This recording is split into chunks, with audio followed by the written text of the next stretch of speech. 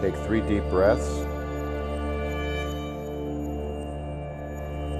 We call upon the spirits of this house, represent to us all spirits in this establishment. One upstairs that's active, medium grade, not well defined.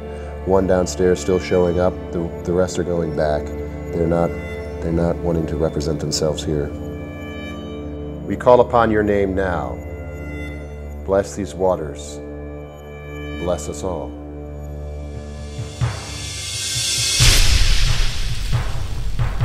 So anytime you have a, a man-made electrical source that's going to spike your meter, when you get a spike on the K2, when there's nothing you can say, well, this is what caused it, then that's what leads you to believe it might be something else.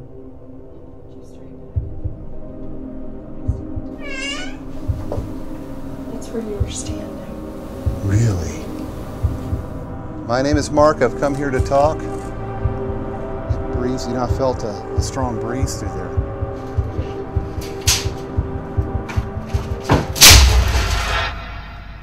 there is uh clearly a, a difference in walking over between that end where there's energy and this end where there's energy, and there's this lull in between.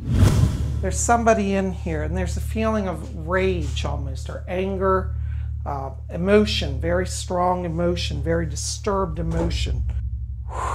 Okay, ooh. Okay, ooh, there's something going on here. Oh, I'm getting so cold. Okay, there's almost a, like a voice saying, don't go forward, don't go forward.